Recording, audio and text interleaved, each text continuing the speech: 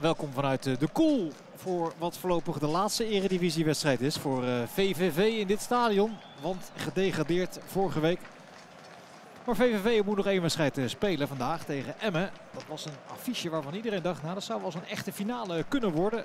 Nou, dat is het in zekere zin voor Emmen natuurlijk nog steeds. Want die gaan proberen om er vandaag rechtstreeks in te blijven. Dat zou een miraculeuze prestatie zijn eigenlijk van het elftal van Dick Lukien. Als je bedenkt dat ze diep in februari pas zes punten hadden. En nu op 27 staan en het dus allemaal nog mogelijk is om Willem 2 op die laatste speeldag te passeren. Daarbij hebben ze dan wel wat hulp nodig van Fortuna Sittard. Ja, het is een wederopstanding geweest. Die dus vandaag of anders uiterlijk de komende week volmaakt moet zien te worden voor uh, FC Emmen. 21 punten uit de laatste 11 wedstrijden. Stijf onderaan, maar gestaag omhoog geklommen. ook uh, vorige week was er weer herstel. Nadat de twee wedstrijden daarvoor twee keer met 4-0 werden verloren. Van zowel Ajax als uh, FC Groningen. Maar goed, het herstel kwam dus tegen Herenveen. Dus mag Emmen altijd nog uh, hopen op direct lijfsbehoud. In een wedstrijd die zo meteen onder leiding staat van Danny Makkeli. VVV is er al. Overigens vandaag zonder de hoofdtrainer Jos Luhukai. Die in quarantaine is gegaan nadat eh, de algemeen directeur hier eh, positief is getest op het coronavirus. Stan Valks is er om die reden niet bij. Een uitgeklede technische leiding dus, waar vandaag Jij Driessen Mark Luipers verantwoordelijk zijn. Zo zie je maar, als je een beetje rustig blijft, dan komt het uh, heel vaak ook wel weer goed. Dit is de opstelling van VVV. Met een basisplaats voor de 17-jarige Essanusi. Van Kooi is een van de weinigen die nog een aardige vorm aantikt de laatste weken. Vito van Kooi, de nummer 10. In het punt van de aanval ontbreekt Giacomakis. Een van de velen die er niet bij is vanwege blessureleed. Giacomakis heeft een schouderblessure. De familie Donis is er ook niet bij. Kiersbaum ontbreekt vanwege de enkelblessure. En hetzelfde geldt dus voor uh, die er vanwege blessureleed niet bij is. Dat is uh, Torino Hunten.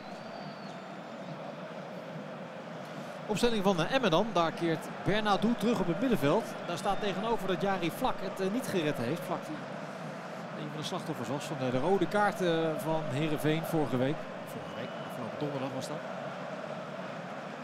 Dat betreft is het voor Lukien prettig dat uh, Bernardo dit duel dus wel gehaald heeft. Giacomakis. 26 doelpunten van de 43 die VVV dit seizoen maakt. Een ongekend aantal. Nog nooit voorgekomen dat een uh, topscorer van de Eredivisie degradeert met zijn ploeg. Het overkomt Giacomakis. Giacomakis is misschien ook wel de financiële reddingsboei. Voor VVV, eh, al is dat wat zwaar aangezet. Het is niet zo dat VVV op uh, omvallen staat als het uh, degradeert. Van Krooi uit de draai. Dat is de eerste serieuze doelpoging van deze wedstrijd. Komt van de voet van Vito van Krooi.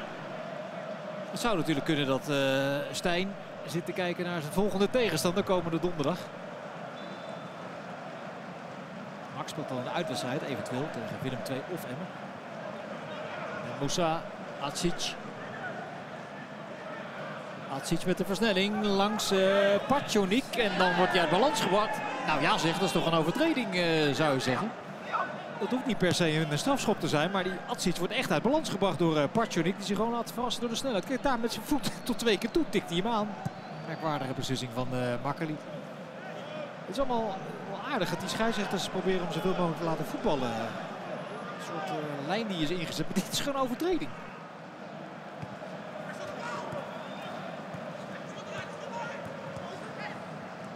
Roemer. Handig, Roemer. En die bal wordt nog van richting veranderd. De uithaal van uh, Dekker. Dat is venijnig. Bij de VVV in het eerste komt hier ook wel een beetje van zich af. Van Krooi met de corner. Swinkels. Ruzie met de bal. En is nu helemaal eh, weg achterin. En de organisatie van VVV die klopt van geen kanten. Want het ligt helemaal open. Daar gaat uh, Atsic. Atsic maakt tempo. Stiftje van Atsic. En de redding van uh, Van Krooi. Beste kans voor Emmen in het eerste kwartier. Voor uh, Atsic. De worsteling van Arjen Swinkels met het leer. leidt tot balverlies. En dan ligt het helemaal open en wil Atsic het uh, heel fraai doen. Maar misschien in zo'n fase in de wedstrijd gewoon een keer de zakelijkheid nog even noodzakelijk is. Bernardo, wel.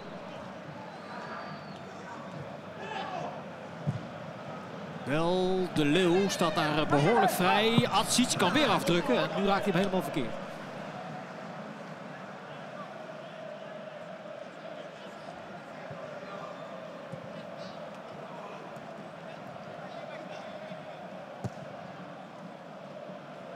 Peña. Duelleren met Post, die wint dat duel. Zo heeft VVV heel kortstondig balbezit. Nu toch weer Emmen.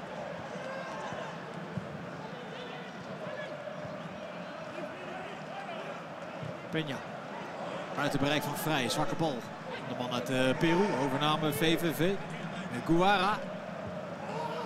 Gaat er vol in, uh, Guara. Bel doet dat ook. En Bel loopt tegen een gele kaart aan. Levert een schorsing op, maar dus niet voor de play-offs is voor volgend seizoen. Hij staat op scherp, Glenn Bell.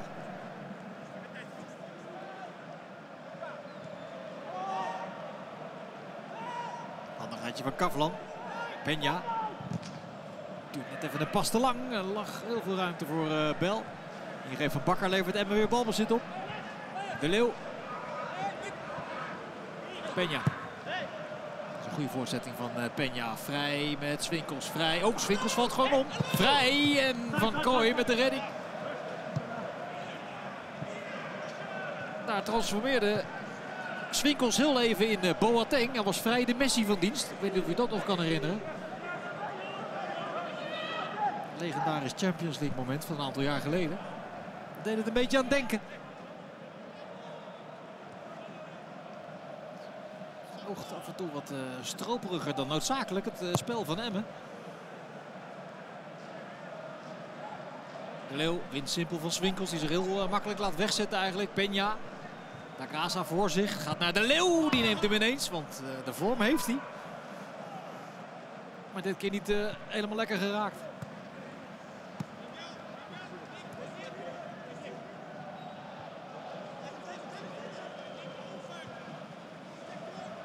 Leek een handig eh, balletje. Het kan alsnog als uh, Bel is doorgelopen en Swinkels zomaar achteruit loopt.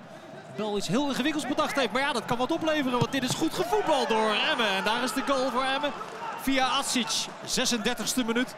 Maar wat deed uh, daar nou allemaal? Hoofdrolspeler in deze aanval, Glenn Bell. Hij heeft zijn voorsprong te pakken. Hij staat nu virtueel een plekje hoger. Aanval over de rechterkant. Een paar eh, handige balletjes. Maar er zijn ook momenten dat VVV die aanval uh, tot een einde kan uh, brengen. Zoals hier bijvoorbeeld als Swinkels gewoon een paar meter doorstapt. Schitterend hakje. Goed teruggelegd. 0-1 voor de ploeg van uh. Waar gaat dit toe leiden? In ieder geval tot de nodige nervositeit in Tilburg. Deze Drentse voorsprong.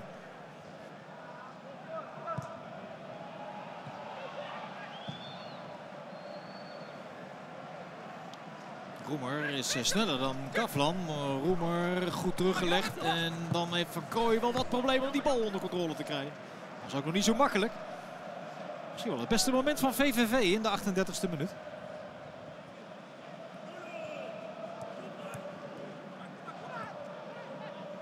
De Leeuw even als eh, aanjager, die ziet ook, de aanvoerder van hem, dat zijn elftal een beetje verslapt eigenlijk naar die openingstreffer van uh, Atsic. Hier is uh, Roemer weer voor VVV van Krooi. Pachonik aangesloten.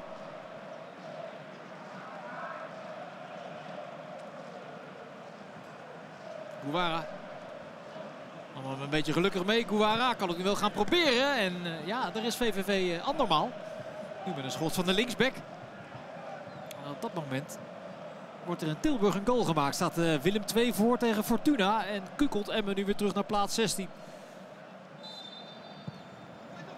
Tweede helft, laatste speelronde Eredivisie. De laatste drie kwartier voor uh, eh, VVV voorlopig op het hoogste niveau. wat wordt het lot van uh, Emmen? Zoals het er nu voor staat.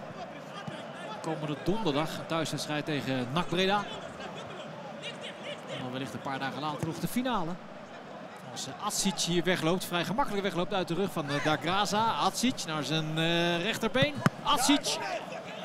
Redding van Kooi. Eerste kans van de tweede helft voor Emmen. Gaan ze bij VVV nog in de ruststand, letterlijk. Behalve Van Krooi. Die staat sowieso wel aardig te keeper.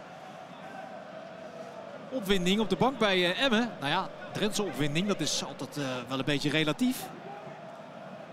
Want zo ziet Drentse opwinding eruit. Maar in Tilburg is het 1-1 geworden bij uh, Willem II tegen Fortuna. Nu Emmen dus weer op plaats 15. De Leeuw. Kavlan vrij. De andere jongens bij uh, Emma aan de bal. Vrij kan zijn gang gaan. Vrij, wat een dribbel van Vrij. Van Krooi. En wat is dit dan? Penalty. Penalty voor uh, Emmen na de overtreding van Delano van Krooi. Daar gaat een formidabele dribbel aan vooraf van uh, Kerim Vrij. Van Krooi die veel dingen goed heeft gedaan vandaag. Gaat dan over de scheef. En Makkeli legt hem op de stip. Het is de negende penalty al die Emmen meekrijgt in de laatste tien wedstrijden. Peña tegen Van Kooi. En zo is het 2-0 voor FC Emmen. Lijkt de klus hier uh, geklaard te gaan worden tegen een aanvallend totaal onmachtig VVV. En is het afwachten wat het scenario is in Tilburg. Rustig, kalm, loepzuiver binnengeschoten door uh, Peña. En hij kan wat rustiger gaan zitten. Hetzelfde geldt voor uh, de voorzitter. Het moet afkomstig zijn van Emmen supporters. Die toch ook wel weer wonderlijk van Emmen naar Venlo zijn gereden achter een struik vuurwerk af te gaan steken. Clubliefde kent letterlijk geen grenzen. Dat is de snelste manier om hier te komen vanuit Emmen via Duitsland. 2-0. Emmen heeft het allemaal volledig onder controle hier in de Koel. Kan zich dit soort uh, trucs permitteren. Kering vrij. Corner van Kavlan. Peña veegt hem 16 meter gebied in en daar is het 3-0. Goal van Michael de Leeuw. Zijn dertiende van het seizoen. Emmen heeft het hier allemaal uh, dik voor elkaar hier gaat het in ieder geval niet meer mis voor uh, Emmen in het uh, streven. Om rechtstreeks in de Eredivisie te blijven. De promotie-degradatiewedstrijden niet nodig te hebben. Prachtige kopstoot van uh, De Leeuw. 3-0. Alle ogen op Tilburg. Dikke tegenvallen voor Emmen nu. Want in Tilburg is Willem 2 op voorsprong gekomen. 2-1 Willem 2, ja, 3-0 voor. Maar dan zak je toch even wat dieper in die fauteuil weg. Want zo gaat het dus heen en weer op zo'n laatste speeldag. Veendorp. En speelt de bal rond. De Leeuw, die nu op het middenveld speelt als uh, vrijman. Peña. Gladon positie gekozen voor het doel. Gladon, nee, daar komt die ruimte tekort om die bal nog binnen te knikken. Zo was het bijna nog 4-0 geworden in de 79ste minuut. Gladon langs. Gladon zelf 4-0. Goede goal nog van uh, Paul Gladon na een mooie Drentse aanval. Het zijn toch afgetekende cijfers. Hoe het ook afloopt vandaag in de koel. Het geeft wel aan dat uh, Emmen weer helemaal boven Jan is. En dat het met vertrouwen die laatste wedstrijd of laatste wedstrijd dun ingaat.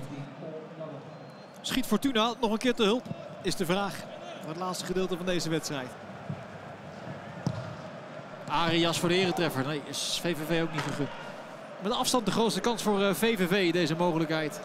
Voor eh, Jafar Arias. Maar hij doet het niet tegen zijn oude club. Hier is het klaar. VVV al gedegradeerd. Verliest compleet kansloos. Met 4-0 van gemotiveerd voetballend. En bij Vlaag ook goed voetballend eh, FC Emmen. Maar deze uitdrukking, deze houding van Lukien verraadt al dat het niet voldoende gaat zijn voor rechtstreekse handhaving in de Eredivisie. Daar is Emmen dan toch een fractie te laat voor op gang gekomen. Maar de wederopstanding met 24 punten uit de laatste 12 wedstrijden is hoe dan ook indrukwekkend geweest. Dat moet zorgen voor een goed gevoel, voor heel veel vertrouwen in de aanloop naar de extra week van het seizoen. Waar Emmen zich dan alsnog veilig moet gaan spelen. Het was al een uh, mirakel dat de ploeg weer opstond. Dat ze die gigantische achterstand die ze op een gegeven moment hadden ten opzichte van de rechtstreekse veilige plekken, dat ze die min of meer hebben weggepoetst. Maar uiteindelijk komen ze een punt tekort. Want in Tilburg is het afgelopen. Gaat eh, Willem II zich dus rechtstreeks handhaven na een overwinning op Fortuna Sittard. Is de 4-0 van Emmen dus net niet voldoende geweest. En kunnen ze zich gaan richten op een thuiswedstrijd tegen NAC Breda komende donderdag.